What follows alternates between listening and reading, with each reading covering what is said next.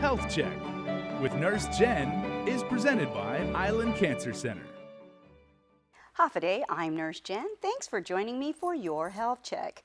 We've all been through it. Either we've been around someone with bad breath or we ourselves have had bad breath.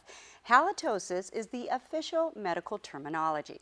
It accounts for up to $1 billion per year in the U.S., and I can't begin to estimate how many people from Guam fly to the Philippines every day solely to seek specialized dental care, dentures, and dental surgeries.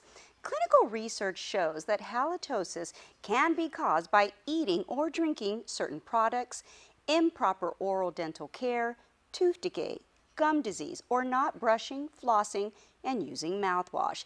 But bad breath can also be a side effect associated with depression, liver disease, ESRD, diabetic ketoacidosis, or gastroesophageal disease.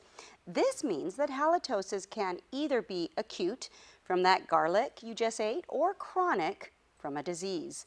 Estimated rates of bad breath vary from 6 to 50% of the population, and it's the third leading cause why people seek advanced dental care.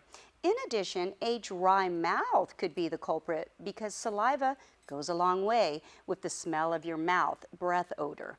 Because saliva rinses and removes unwanted leftovers from your mouth to help break down food and provide disease-fighting substances to help prevent cavities and infections. A dry mouth can be caused by a medication, a medical diagnosis, heavy tobacco or pugua use, or excessive caffeine coffee intake.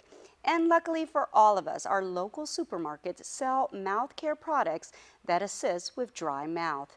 Other ways to stop bad breath. Start by brushing your teeth for two minutes with a fluoride toothpaste, flossing for two minutes between your teeth, and mouthwashing for two minutes with a product that has the ADA seal of acceptance at least minimum twice a day.